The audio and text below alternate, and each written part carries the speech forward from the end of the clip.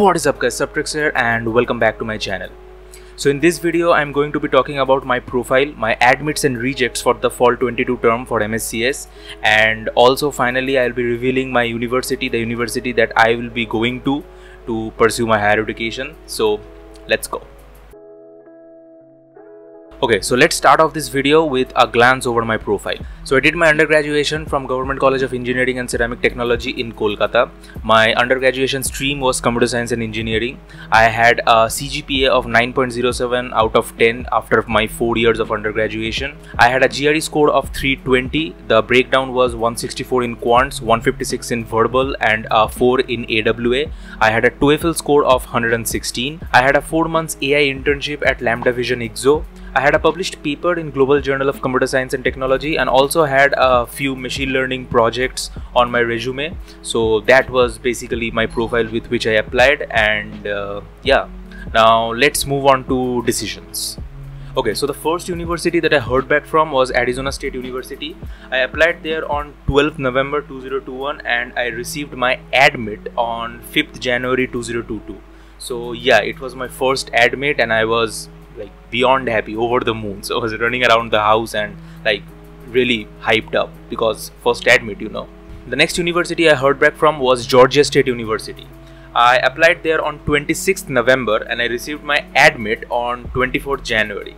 Now i applied to georgia state specifically because gsu is known for giving out a lot of you know scholarships and tuition waivers but I received uh, nothing, and uh, on top of that, they slapped me with a prereq. So, yeah, was a bit salty, but nonetheless happy.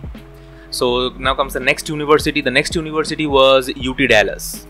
I applied there on 26th November 2021 and received my decision on 3rd February 2022 and the decision was an admit. But here too similar to GSU I also got one prereq. So yeah the next decision was from North Carolina State University. I applied there on 26th November 2021 and I received my decision on 18th February 2022. Now the decision was that I was not being recommended for the MSCS course that I applied for, but I was instead being recommended for the MCS course that is that is their professional masters computer science program. So yeah, I was hoping to get into the MSCS course because I thought I had a strong profile for NCSU, but you know, it is what it is. So the next decision was Indiana University Bloomington. I applied there on 11th December 2021 and I received my decision on 2nd March 2022 and the decision was an admit. Okay, so the next university that I heard back from was UC San Diego, a pretty big university and I applied there on 27th November 2021 and I received my decision on 29th March 2022 and it was a reject from their side. So it was my first reject of the cycle and UCSD was like a very very very ambitious college for me. So I was like did not have much hope of getting in. But still you know a reject hurts any day. Okay moving on. The next university that I heard back from was University of Massachusetts at Amherst. I applied there on 24th November 2021 and I received my reject on 8th April. So two rejects back to back again it was a pretty ambitious school for me and this year the competition was so tough so i guess i couldn't square off with the competition. So yeah. Okay so the next university that i heard back from was university of california at riverside.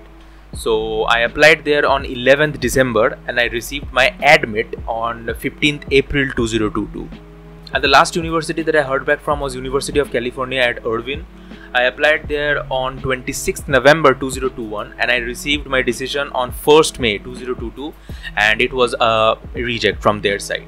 So that was it, my application cycle. I ended my application cycle with a reject. So it hurt a bit, but considering what my profile was, uh, the amount of admits I got, I was I was pretty happy at the end. I have to say, I was pretty happy with my results. Also, something I would like to mention is that I applied to California State University Long Beach. It was one of the first universities that I applied to. But later on, they asked me for some extra documents, that is, my transcripts and my degree, to be couriered over to them. And at that point, I already had an admit from Arizona State University, so I did not feel like progressing with the application to CSU Long Beach anymore. So I withdrew my application because I wasn't feeling like spending extra dollars on sending stuff over by courier again. So yeah. So yeah that concludes all my decisions for fall 22 for the mscs program. I got six admits and three rejections that is rejections from all my ambitious schools. And this year the competition was pretty pretty fierce pretty brutal. Fall 22 was very brutal like a bloodbath. And i figure spring 23 fall 23 are only gonna be more brutal then this cycle is just gonna continue so i was i was pretty happy with my results so now let's talk about the university that I finalized. So after a lot of thinking and a lot of deliberation, I finally chose Indiana University Bloomington as my final destination and there's some reason behind it why. So let me tell you. Now when people hear IU Bloomington, they are like, oh, it's great for DS course, data science course, but for CS, yeah, it's pretty great for CS too.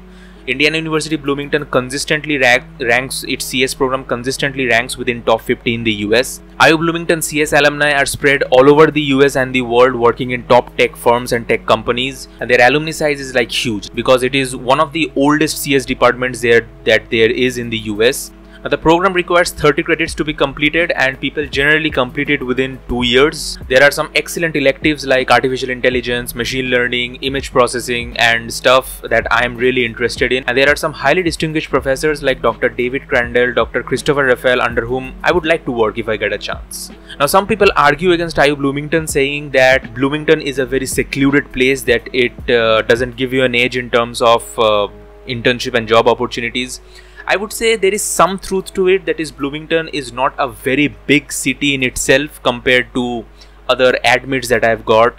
But uh, does it hamper your opportunities for internships and jobs? Probably not because I have talked to many seniors over LinkedIn who are currently studying at IU Bloomington who have passed out from IU Bloomington from both CS and DS courses and they all had to say one thing that is it completely depends on you the kind of internships you get, the kind of job you land after you graduate, it completely depends on you. How much you have done in those two years of your masters, how much you have networked with people, how much you have grinded LeetCode, done coding, and done unique projects and everything. It all comes down to you. And opportunities there are in plenty because uh, especially after covid this location factor is is very negligible because all the recruitment and the hiring takes place online so you know you go to a job portal you apply to a job and then yeah if they like your resume if they like your profile they will call you for interviews and that's how you get a job. So location not a very big factor. Yeah factor of course but not a very big factor after this whole covid scenario. So if you're choosing IU Bloomington, don't be afraid that it's in a very secluded, remote place, so you won't get opportunities like other college students are getting.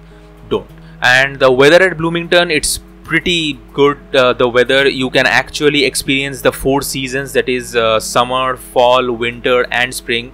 Not necessarily in that order but you can actually experience all the four seasons there in bloomington. So it, yeah it's pretty great. And bloomington is like the ideal college town the perfect college town for a student. No distractions a very beautiful small town where you can just you know do stuff that you like and focus on your studies, your academics. Now I was pretty confused between North Carolina State and Indiana University Bloomington. Now NCSU there are certain points that I did not choose NCSU after all because NCSU first of all it's costly. The I-20 value itself was around $7,000 more than what IU Bloomington's I-20 value was so that was a very huge point because everyone wants to complete their masters within less amount of money right Secondly, I liked IU Bloomington's course structure curriculum better than NCSU. Thirdly, NCSU has like a bigger batch size because this year I saw they admitted over like 400 plus Indians to their MCS course and IU Bloomington has over like 250 plus Indians for their MSCS course. So I guess a bigger batch size there will be at NCSU so that might also affect my chances of getting uh, a TA or even maybe on campus job who knows. So that was not a very big reason but one of the reason for sure. So yeah that was all. So finally i have uh, chosen indiana university bloomington and i can't wait to go there. I have already gotten my i-20 from the university and i will be starting my visa processes soon. So yeah india to indiana. It has a nice ring to it. I like that. So can't wait to be a hoosier. Go hoosier. So that's it for this video. If you like this video give it a big thumbs up. Hit that subscribe like a snare. And and i'll see you guys in the next one. Till then peace out